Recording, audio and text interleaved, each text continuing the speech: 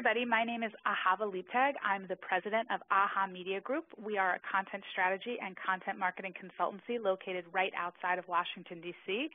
I myself have been in the digital strategy space for over 15 years now doing different kinds of communications and really focused on content, content strategy, and content marketing in the last eight years. Uh, today I'm here to talk to you about developing a mobile content strategy that works. Mobile has certainly changed everything about our lives drastically in the last three to five years. And so today I'm excited to talk to you about how mobile and content strategy fit together within your overall marketing and digital strategy. So let's start by talking about some of the challenges that we face with mobile devices. Um, today we're going to be talking about format, context, and use case scenarios. And then I'm going to give you three suggestions for how I think that you should be handling these within your marketing and your content strategy efforts around mobile. So let's first talk about format. So we see that um, design has changed tremendously. Um, even if you look at the latest versions of the iPhone, forget about Droid and all the other different kinds of tablets and smartphones that are being produced. But screen size has changed tremendously. And um, if you look at the first generation of the iPad and then the mini iPad and the smartphone, you really start to see the differences in how screens are. And this can create a lot of trouble for brands. Um, this is an example of BuddyPress, which is a WordPress support site. When you look at this site on the traditional desktop, it looks like this. And when you look at it on your smartphone, it looks like this. So this creates problems for brands because as they're trying to get their content out there and more and more of our audiences are accessing our content through mobile devices, they're going to continue to run into problems like this. This is One Direction's website. Please don't judge me. I have tween daughters. And this is what their website looks like on a traditional desktop. But when you go to their mobile site, it is not responding the way that you need it to in order to find all the information that you're looking for. Let's talk about context now because context is incredibly important in the mobile environment. So when we go to meetings and we look at the way that people now interact with digital devices, we see um, a tremendous variation. So it used to be that everybody had a desktop in front of them, like this slide is showing.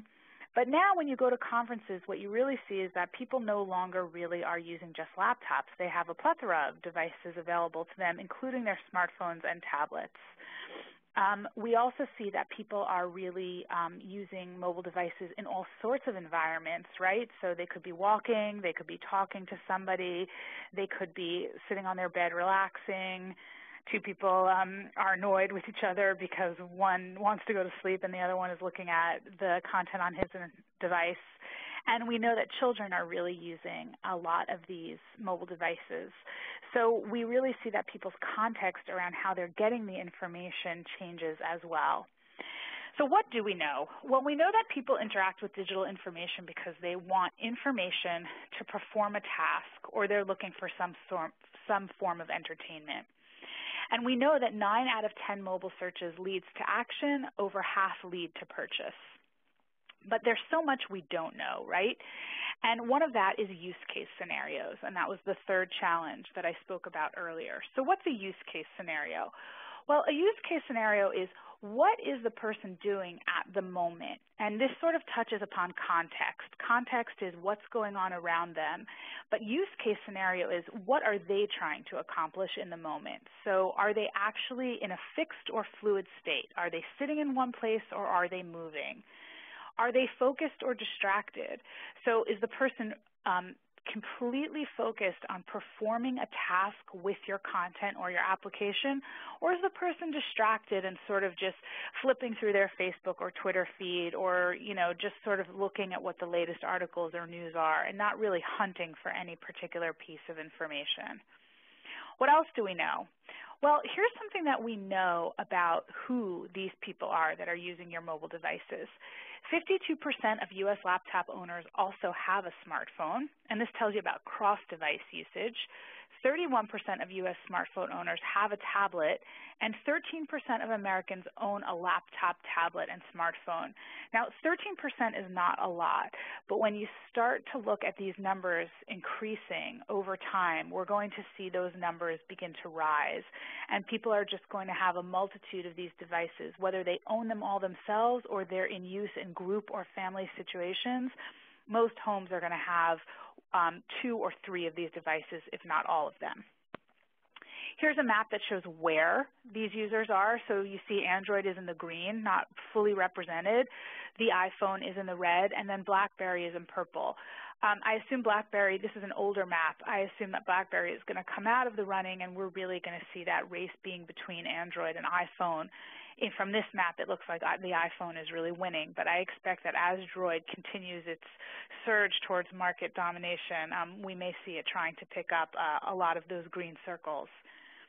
Where are they? So here we see um, a different map that uh, gives you this information in kind of a different way according to really the states and where we see Android dominance versus iOS dominance. And iOS is the operating system for Apple when are they? So I, think this graph is really interesting, and you can see that this is from ComScore, this data. It's from August of 2011. And I assume it's tracking a little bit differently now, although um, I think it's probably very similar. Mobile is in the aqua line, tablets are in the dark blue line, and then computers, uh, traditional desktop and laptop computers are in the orange line. And you can see that if we track the traditional computers, really that's something that's being used for work. The usage goes up starting around 6 o'clock o'clock, which is when most people in the United States begin working. And then it sort of keeps on pretty much on that high, it dips a little for lunch, and then continues to fall downward until about 6 p.m., which is the traditional end of the workday. But if you look at mobile, mobile is pretty consistent throughout the day. However, tablet use really rises at the end of the day. And this is because a lot of people really are using their tablets to consume mobile content that is more of entertainment value or shopping value or social networking and social media.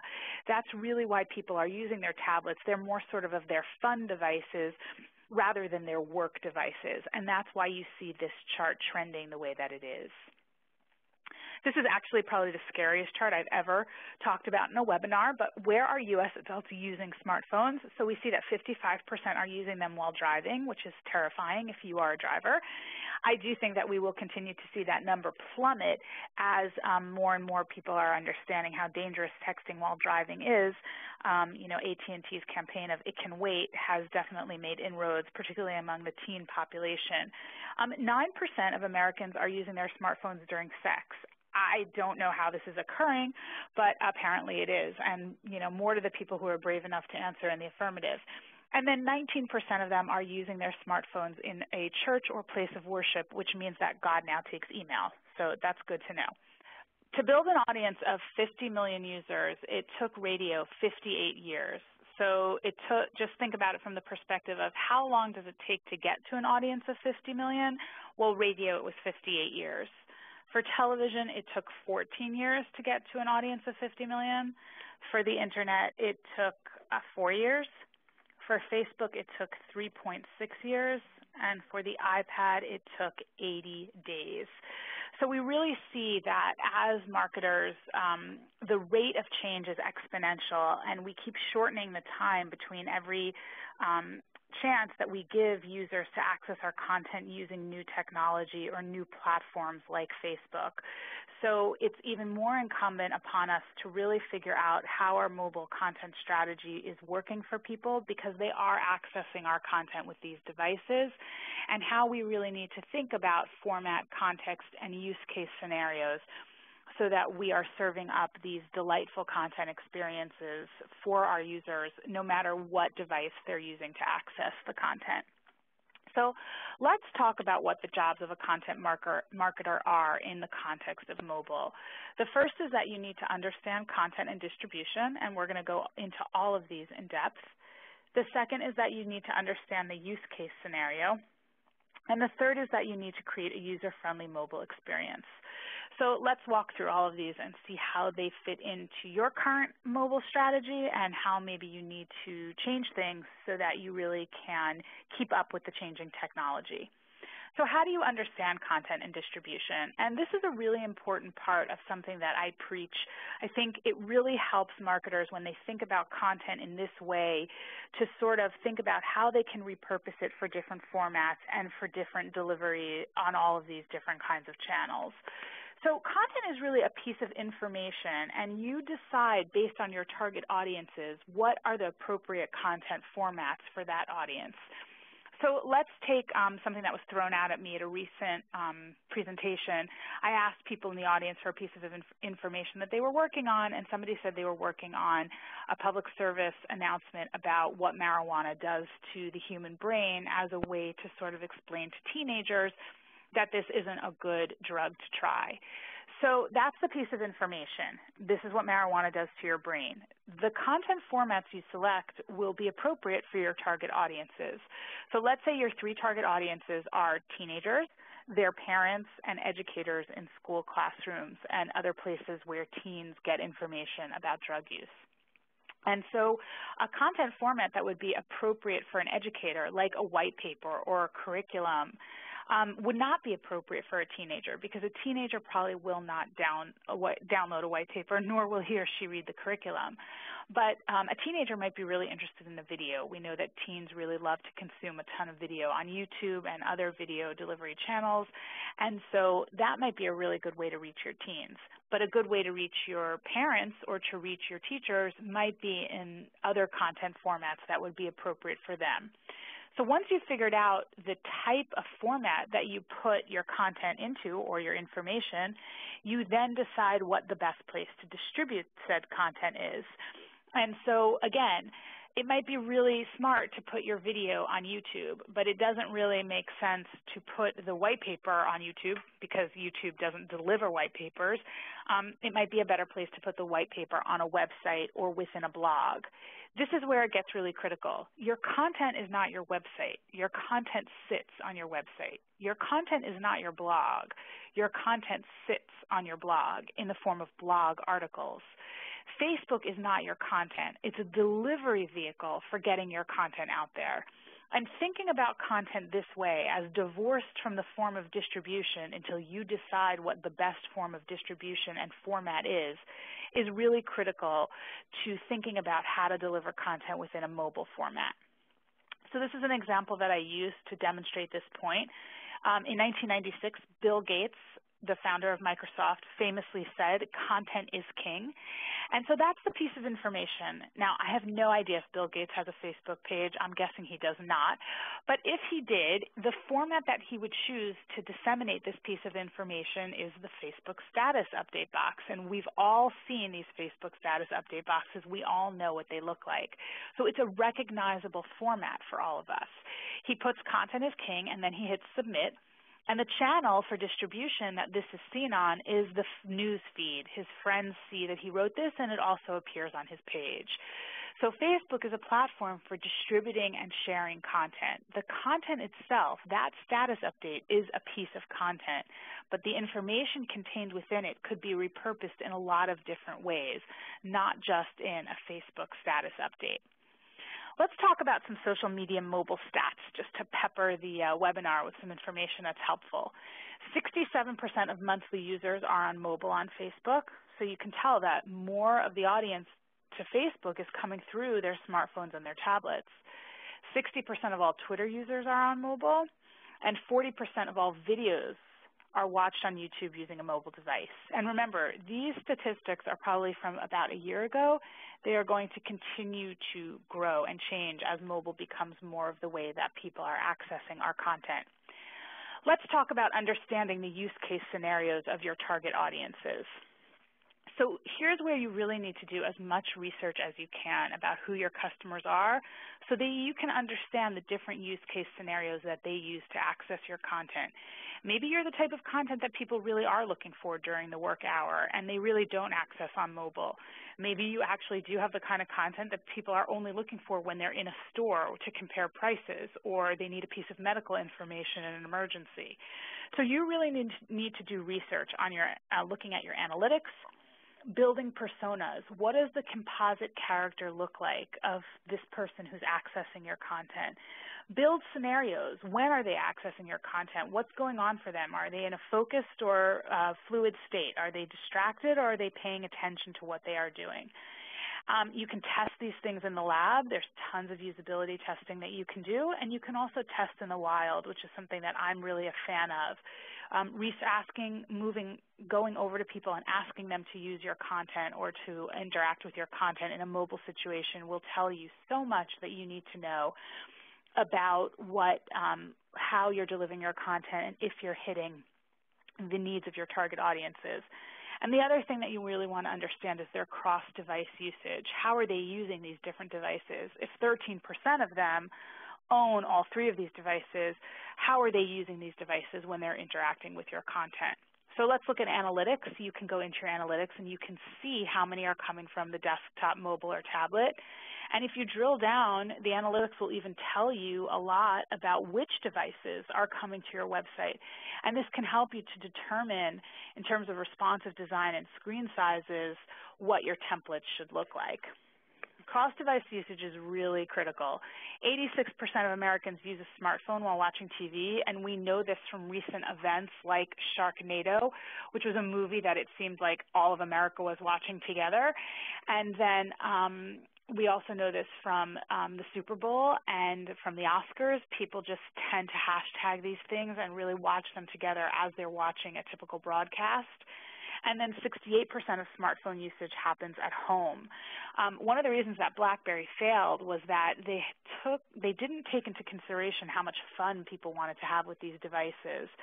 And what happened was was that the iPhone, when it first came out, wasn't that fabulous device, and it didn't have a lot of the functionality that BlackBerry had, but it was more fun to use. And so what happened was executives would come home and they would put down their BlackBerry and they would pick up their iPhone in order to have fun with the device.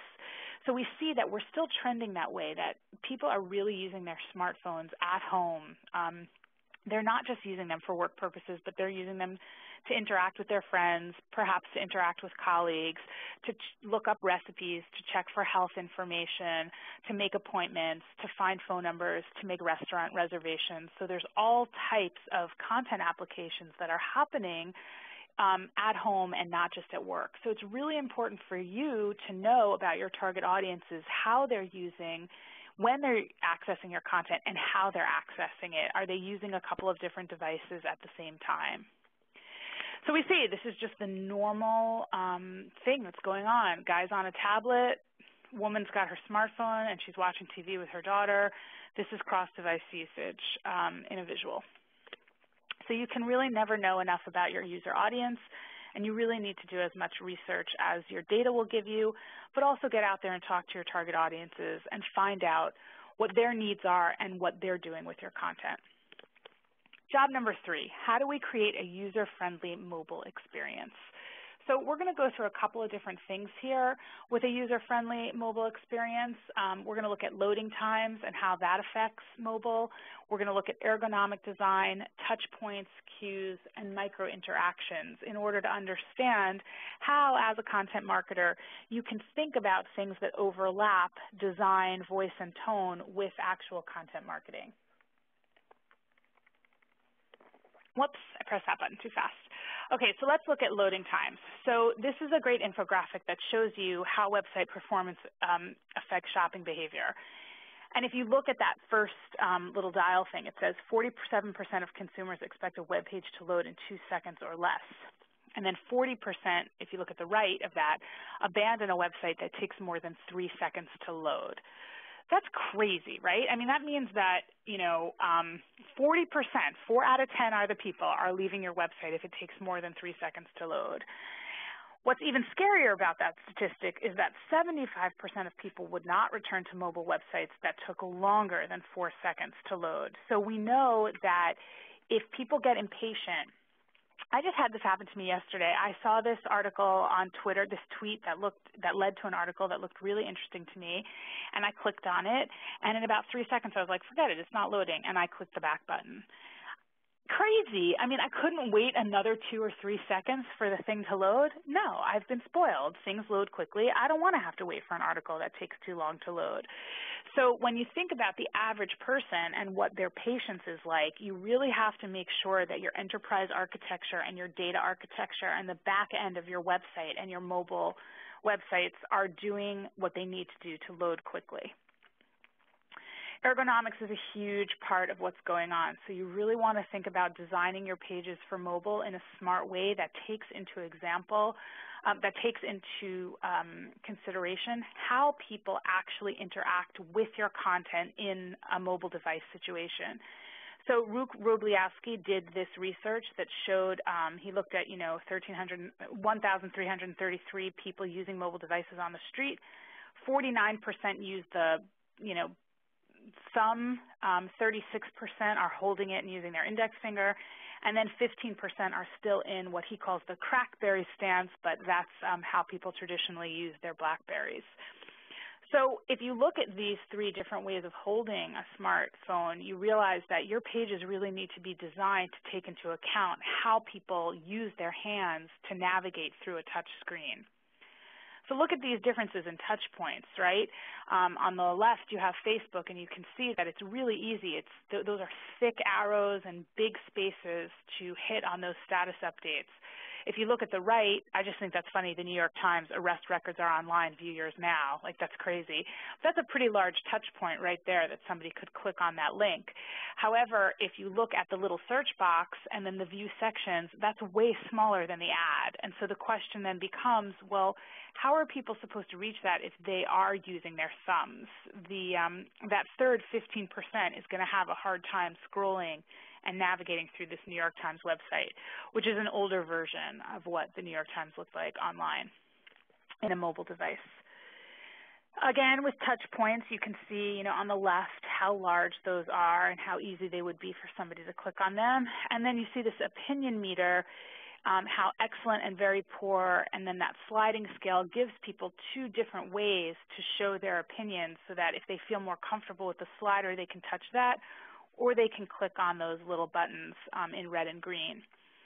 Cues are incredibly important, letting people know what things mean. So if you look at this first example at MobiKwik, there's a lot of things there I don't understand, like what is DTH, what is data card, and maybe this would be obvious to a user who would download this application, but maybe it wouldn't. So we need to think about, are we speaking human to people, and are we giving them cues that they would understand no matter their contact? Context with this piece of content or this application.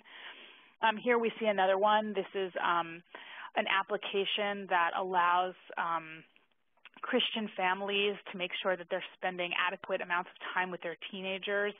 And it talks about this monthly virtue and it allows you to enter in a number of hours. But again, it's clearer to me what these things are about, but I had to do a little research on the app to truly understand them. And then this is Scanit. I think this does such a good example, gives it's such a great example of what we're really looking for.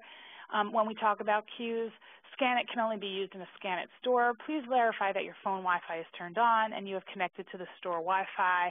How much more human can you be than that? It's very simple, and I completely understand it. So think through what you're writing and what your content looks like, and make sure it's conversational and it appeals to people.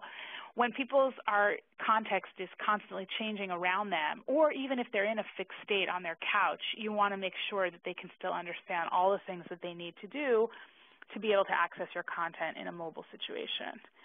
And then micro interactions, again, are these sort of um, more than cues, they tell people what they need to do. So login failed, unable to connect to Facebook, please try again later. Good example.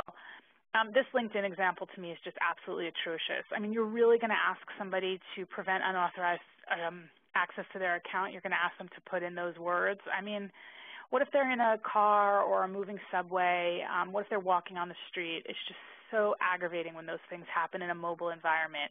So really think through your audience's use case scenarios and what they might be doing at the time. And if these kind of things are going to aggravate them, they're just going to bounce and they're not going to bother trying to get through the gate.